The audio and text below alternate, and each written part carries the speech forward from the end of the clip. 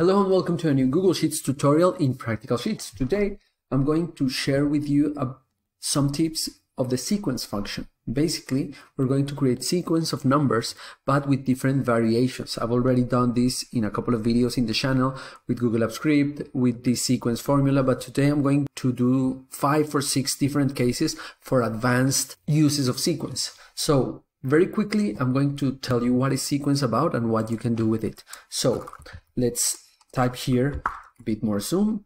So I'm going to do equal sequence and I'm going to enter any number, 10. And I close it and that's it. So sequence is a type of formula called array formula or, or matrix-like formula. These are formulas or functions that even though you just put in a cell just the single formula, it will output the results in much more cells, being uh, columns or being rows or a mix of both. Okay, so this is an array formula. So for the uninitiated, if you see this, you think that someone has typed it, but we intermediate users know that it was the result of a, an array formula or a matrix type formula. If you try to write something here, it will damage the results of the formula because it's not allowing the formula to um, overwrite the data or to enlarge until the cells it needs to, okay? So this is sequence. You can put any number, a hundred, a thousand, so you very quickly can create a sequence of number of the numbers you like, okay? If you mix this with another function, then you have a very, very powerful formula. For example, if you want, let's do this go back here. If I want to count or to do a sequence like a serial number for all of these items, then I could replace this instead of a thousand by 13. And then I have a, a sequence or a, or a consecutive number for each of these items. However, what happens if I change this? If I add new numbers, add new letters, add new rows? So then I will have to change this to 16 manually. So how do we do that? This adapts uh, dynamically. Here we can put formula, a function. In this case, we can use the count a function. And we're going to count the elements in this column. If I hit enter, then here I have 16, but if I add new element, automatically it will go down to 17. And if I delete all of this, then it go automatically to 10. So this is really nice. And this is just one of the examples where we could change what we had here as a fixed number, 10, 150 for a formula or a function where it can dynamically change. Okay, this is the first thing I wanted to tell you that I have already told you in some past videos. So uh, let's go back to our 10 and we can do some changes here. For example, we can put a second argument and the second argument is the number of columns. If I put here another 10, then I have a 10 by 10 matrix or, or a square, you know, so it starts here 1 to 10, then 11 to 20. So actually I'm having 100 numbers. First 10, then another 10. If I only want the row, then I just leave this as 1 and I can have my 10 or 20 or 100 numbers, but in a row, okay? Uh, but if I wanted the other way, as I did, I can leave the 100 here and leave this as 1. And it'll be the same as removing this one. I think it's a good practice to always leave this one uh, because you know that you always can have the option of the color. Okay, this is the second argument. Then you can have two other arguments. The first argument is when do you want to start? For example, you don't always want to start in one. For example, you want to start in zero, or you want to start in minus five, or you want to start in 50. Okay, you can do it. So let's change this that we are going to go 10 numbers, only one column, and starting on 50. So we'll go from 50 up to 59.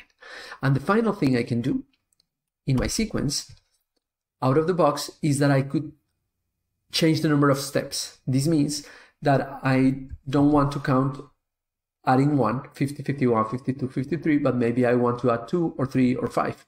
For example, I want to go 5 plus each time. So here I have it, 50, 55, 60, 65, up until 95. Okay? So this is what I can do with the sequence formula right out of the box. But the real magic or the real power of sequence is when we mix it with array formula. I already showed you how we can use here the count a function as an example, but we can do much, much more than that. For example, let's say I want to do some references, reference one, reference two, reference three, so that the number is at the beginning or at the end of a string of text. For example, I want to start in 1 until 10, but saying ref 1, ref 2, ref 3, up until ref 10. So we already know how to do this. For the numbers, sequence, let's say 10. And one way to do it is uh, with the concatenate function. So I could do ref in quotation marks, and then I put this ampersand symbol and use this, and then I can autofill, and that's it. Okay? This is a thing I can do, but I don't like it that much because when I change the sequence to 11 or to 9 or to 15, then I would have to, to drag down the formula manually, okay? One way of doing this, of changing this, is to adding an array formula. If you are familiar with this term, it's a way of converting a function into an array-like function. Remember that the sequence is an array-like function or a matrix-like function. So we could transform almost any formula to a matrix type function using the array formula. How do we do it? For example, we use this. We need to tell it until what row do I want to go? Let's say here is until 15. So I will say D15. I'll hit enter. Nothing will happen. I will delete this because I want this uh, formula to go down up to 15. I'm going to stand here, click or type Control Shift Enter, and then it automatically wraps it up in an array formula. I hit Enter again, and now I have this. And if I, for example, do sequence 10, here I have some problems because I will have to change this to D10. So maybe there's a way of joining these two in one, so I don't have to have two different columns. So what I could do here is to put the reference outside the sequence and see what happens. I will do ref and then ampersand and sequence and it doesn't work. Why? Because I'm mixing two different type of functions. Remember that sequence is a matrix type function, but ref is a text, a simple text.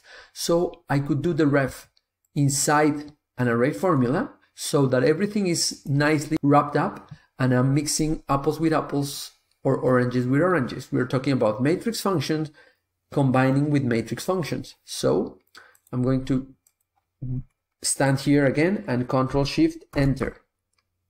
What? No, it doesn't work. So I need to manually wrap it up in an array formula. I'll open up the parentheses, close it up, and apparently it works really nice. And if I change this to 20, it works really, really well. So it looks really nice and we could do it with a text before or a text after. So I could say ref and maybe then add another text and say ref, um, I don't know, 2023, whatever. Okay, so you and we could put some dashes here. So you could put your sequence before a text, between a text, or after a text. Okay? So this is the first thing we can do. But there are much, much more things we can do. For example, all of them taking advantage of the array formula that I've told you. Another thing we can do is, for example, to do some decimal points. Some people have asked me how to do, uh, instead of 1 to 10, maybe 0.1 up to 0.9 if I do if I do sequence and set up to 10 but I want to put it in decimal I could divide this by 10 for example. Again it won't work because the same case as this I'm mixing an array type or a matrix type function with a simple or flat function. So if I do Ctrl Shift Enter then enter again it will work for 10 or even for 100. I could do decimals from 0.1 to 100 or I could divide by 100 and I could say 0.01, 0.02, 0.03. So I could do a lot of things of different alternatives. What else? We could also do, for example, someone has asked me if they want to do this first, second, third, fourth, and so on. Okay, so we could do uh, the same we did here, and let's put th, for example. So I'm going to say index sequence, sorry, sequence for now, let's say 10. And after that, I'm going to put a th. Almost all numbers end with th. So, and I do Control Shift Enter and then Enter, and I delete this one, and I have this. It doesn't work right well because, for example, this is first, no one th. So I could mix this with a VLOOKUP that works also well in my array formula. So I could say VLOOKUP, I could have here some numbers. Actually, I could have them all. In another sheet or in my same sheet, I could have one, two, three, four, five, and I could say here that is first, second, third, fourth, and I think all of the rest are th. At the end, let's see. Seventh, eighth, ninth, tenth, eleventh. Then you could do your your exceptions. For example, uh, 21 is 21st and all that. We could do it in different ways, maybe more elegant ways. 20th, 28th, 21st, 22nd, 23rd, and then it is the same. Actually, we could do it in a different way because only when it ends in 1 in, is ST, when it ends in 2 is ND, when it ends in 3 is RD, and the rest are TH. It's, it's difficult to find out a rule, but for now, let's leave it like this up until 30. And what we could do here, once we have this table, it will work all the time. So you only have to do it once. And then here, instead of putting th, you will put VLOOKUP. And we are going to VLOOKUP this same sequence. And we're going to VLOOKUP here in column 2 and ending in 0. That's it. And it works perfectly. Okay, and if I go sequence up to 20, it doesn't work well because I also need to change it here. Okay, now it works good. Okay, it's just an example of things you could do. Finally, before going, I want to do two other things. The first one is I want to do a kind of a cycle. So I want to do, for example, this 1, 1, 1, 2, 2, 2, 3, 3, 3, and 4, 4, 4. Okay? So how can we do this? There are a number of ways we can do it. Let's start with a sequence of 12 numbers. Okay? And now what I want to do is to divide this number by, for example, 3. If you're going to repeat it three times, let's divide it by 3. But remember that you need to do a Control Shift Enter. Okay? And what we could do is round this up. If you see these three, if we round it up, it will go to one. If we round these three up, it will go to two, etc., etc. So if I do inside this sequence, I say round up and then close it. Now I have my, my cycle for whatever I want. And what I could do is take this out up here and we could do, for example, we could say here is how many times do I want to re repeat the cycle. So uh, length of cycle. In this case, it will be three. And the other one could be number of cycles. So in this case, is four. So I could change this formula here, changing this three for this length of cycle and changing this 12 for length of cycle times number of cycles. So if I change this length of cycle to 2, it automatically changes. If I say I want 6 cycles, it changes to 6. Okay? This is the first variation I wanted to do. The second variation I want is similar to this, but I want to one cycle repeat itself multiple times. It's like the inverse of this. I want to do 1, 2, 3, 1, 2, 3, 1, 2, 3, 1, 2, 3. Okay? Here I repeat the number as many times as the length of the cycle and repeat it the number of cycles I want. Here I want to do similar thing. Again, let's start with our sequence of 12. Let's delete this, Control Shift down and delete. And now I'm going to do something similar, but I'm going to use a different function. So I'm going to use this mod, mod, mod function. This mod function divides sequence by something. In this case, let's divide it by 3. But again, you know that I need to do Control Shift Enter and Enter again. So what does this do?